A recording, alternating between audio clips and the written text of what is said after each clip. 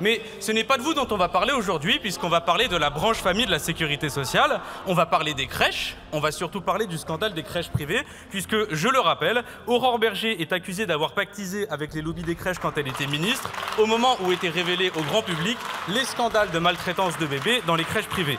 Ça doit être le 97e scandale politico-financier dans lequel un ancien membre du gouvernement a été impliqué, mais pas que les membres du gouvernement, puisque Yael Braun-Pivet, la présidente de l'Assemblée nationale, qui a été élue par 17 ministres enterrant définitivement la séparation des pouvoirs, a tout de même couvert Aurore Berger pendant deux semaines pour empêcher que notre bureau de l'Assemblée nationale engage des poursuites contre Aurore Berger pour parjure. On retrouve donc ici ce qui fait la marque de la présidente de l'Assemblée nationale, une partialité assumée et un soutien total et inconditionnel à tout ce qui de près comme de loin, met en danger la vie des enfants. Mais le pire du scandale des crèches, c'est le système que vous avez organisé. 90% des places qui ont ouvert ces dix dernières années sont des places en crèches privées. Ces crèches privées sont possédées par des fonds de pension britanniques et américains qui ne cherchent qu'à faire de la rentabilité. Alors, ils font des économies. Ils font des économies sur les couches, ils font des économies sur la nourriture, ils font des économies sur la masse salariale. Ce qui fait que les salariés qui ne demandent qu'à bien s'occuper des bébés n'ont pas les moyens de faire correctement leur travail. Alors, la question qui est au cœur du scandale des crèches, c'est qui est responsable? Regardez-moi bien droit dans les yeux, monsieur le ministre. Vous êtes responsable. Louis Boyard, jeune député emblématique, a su s'imposer comme une voix forte et engagée dans le débat public, notamment sur des questions sociétales cruciales. Il met en lumière une problématique alarmante, la privatisation des services liés à la petite enfance et ses conséquences néfastes sur les familles et les enfants. En s'attaquant directement à Yael Braun-Pivet, actuel ministre des Familles, il ne se contente pas de critiquer les politiques en place, il soulève des interrogations fondamentales sur la place de l'enfant dans notre société.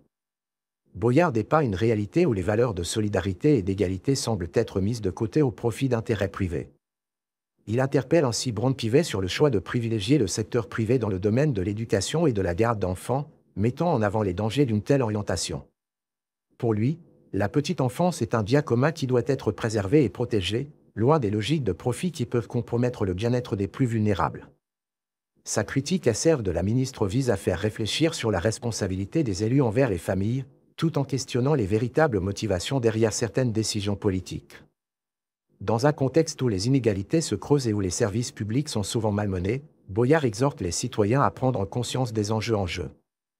Son discours est à la fois un appel à la mobilisation et un cri d'alarme contre une dérive qui pourrait avoir des répercussions dramatiques sur les enfants et leurs familles. En mettant en lumière les contradictions et les lacunes du discours officiel, il cherche à susciter un véritable débat sur l'avenir de la petite enfance en France.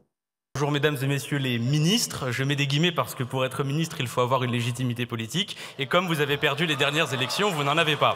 Bonjour à la majorité de Macron, je me tourne donc vers le Rassemblement national, puisque vous soutenez le budget du gouvernement de Macron, vous refusez de censurer le nouveau gouvernement de Macron, vous refusez la destitution d'Emmanuel Macron, et je dis juste ça comme ça, mais si le Rassemblement national n'existait pas, ça ferait bien longtemps que la France insoumise se serait débarrassée de ce qui nous sert de président de la République. Mais ce n'est pas de vous dont on va parler aujourd'hui, puisqu'on va parler de la branche famille de la sécurité sociale, on va parler des crèches, on va surtout parler du scandale des crèches privées, puisque, je le rappelle, Aurore Berger est accusée d'avoir pactisé avec les lobbies des crèches quand elle était ministre, au moment où étaient révélés au grand public les scandales de maltraitance de bébés dans les crèches privées. Ça doit être le 97e scandale politico-financier dans lequel un ancien membre du gouvernement a été impliqué, mais pas que les membres du gouvernement, puisque Yael Braun-Pivet, la présidente de l'Assemblée nationale, qui a été élue par 17 ministres enterrant définitivement la séparation des pouvoirs, a tout de même couvert Aurore Berger pendant deux semaines pour empêcher que notre bureau de l'Assemblée nationale engage des poursuites contre Aurore Berger pour parjure. On retrouve donc ici ce qui fait la marque de la présidente de l'Assemblée nationale, une partialité assumée et un soutien total et inconditionnel à tout ce qui, de près comme de loin, met en danger la vie des enfants. Mais le pire du scandale des crèches, c'est le système que vous avez organisé. 90% des places qui ont ouvert ces dix dernières années sont des places en crèches privées.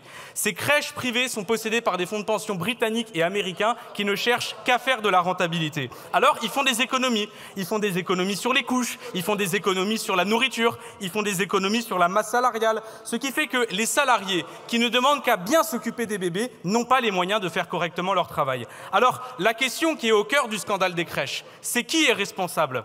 Regardez-moi bien droit dans les yeux, monsieur le ministre. Vous êtes responsable. Parce que 80% de l'argent qui finance ces crèches et qui finit dans les poches des fonds de pension, c'est de l'argent public, c'est de l'argent de l'État. Quand j'ai demandé à votre administration, la CNAF, ce qu'ils pensaient de votre système de financement, ils m'ont répondu un document comptable en me disant « Nous avons atteint nos objectifs », les objectifs que vous fixez, monsieur le ministre. Entendez-moi bien, tant que vous ne sortirez pas le secteur de la petite enfance du secteur privé, pour à la place investir massivement dans un service public de la petite enfance qui offre des places à tout le monde et dont le premier critère est la qualité de l'accueil de l'enfant, ce qui implique de le sortir du privé parce qu'on ne fait pas de rentabilité sur ces sujets-là. Tant que vous ne ferez pas cela, vous ne serez pas seulement responsable, monsieur le ministre, vous serez complice, tout comme Aurore Berger a été complice. Enfin, je ne peux pas terminer mon discours sans parler des femmes celle qui devait être la grande cause du quinquennat Macron et qui sont en réalité les exploités de sa politique. Ne nous racontons pas d'histoire. La privatisation du service public de la petite enfance, le manque de place qui en résulte, ce sont les femmes qui le payent. 160 000 parents s'arrêtent de travailler chaque année, faute de place en crèche pour s'occuper de leurs enfants. Majoritairement, pour 95% d'entre elles, ce sont des femmes. Ce sont elles qui sacrifient une partie de leur vie et de leur carrière pour combler les lacunes de la branche famille de la sécurité sociale. Par exemple, une réforme des congés parentaux avait été annoncée par Emmanuel Macron. Où est-elle? Pourquoi en 2024 sommes-nous encore dans un système qui dit aux femmes Vous, vous avez 10 semaines de congés pour vous occuper des enfants après la naissance. Mais on dit au père Ah non, non, vous, vous n'avez que 25 jours. Pourquoi? Un enfant, en général, ça se fait à deux. Alors un enfant, quand il naît, on doit pouvoir s'en occuper à deux. Mais mettons les choses bout à bout. Puisqu'à la naissance de l'enfant, il faut ramener un salaire à la maison et que le système de congé fait reposer la plus grande charge sur les femmes, alors ce sont si souvent les femmes qui s'arrêtent de travailler pour s'occuper des premières semaines de l'enfant. Puis après, il faut trouver une place en crèche. Mais comme vous avez vendu les crèches au privé, qu'il n'y a plus de place, que ça coûte trop cher, et comme les femmes se sont occupées des enfants les premières semaines, c'est encore une fois aux femmes que vous demandez de s'arrêter de travailler pour s'occuper des enfants pendant des années parce qu'il n'y a plus de place en crèche. Autrement dit, chaque euro que vous avez économisé sur les crèches, chaque euro que vous avez économisé sur les congés parentaux, vous l'avez compensé par le travail gratuit des femmes. Et Emmanuel Macron, dans la droite philosophie du Rassemblement national, ose parler de réarmement démographique. Mes chers collègues, j'ai vu vos amendements sur la natalité. Ma position de rapporteur sur le sujet sera intransigeante. Aucun Parlement, aucun président de la République n'aura jamais quelque autorité que ce soit pour dire aux femmes ce qu'elles doivent faire ou ne pas faire de leur utérus. Vous dites oui, mais ça met en danger la dynamique financière de la branche famille de la sécurité sociale. Eh bien, vous savez quoi? J'ai envie de vous dire tant mieux. On fera une réforme. Parce qu'un système qui est basé sur le travail gratuit des femmes est un système à mener à mourir. Jour après jour avance l'idée féministe et républicaine qui abolit la famille comme lieu de l'autorité patriarcale et établit la famille pour ce qu'elle est. Vous invite à conclure, mon cher collègue. En conclusion, Louis Boyard s'impose comme un ardent défenseur d'une vision radicalement différente pour la petite enfance, un secteur qu'il estime fondamental pour l'avenir de notre société. Son appel à sortir la petite enfance du secteur privé n'est pas qu'une simple revendication, mais un cri de ralliement pour tous ceux qui croient en la nécessité de préserver l'intérêt supérieur de l'enfant.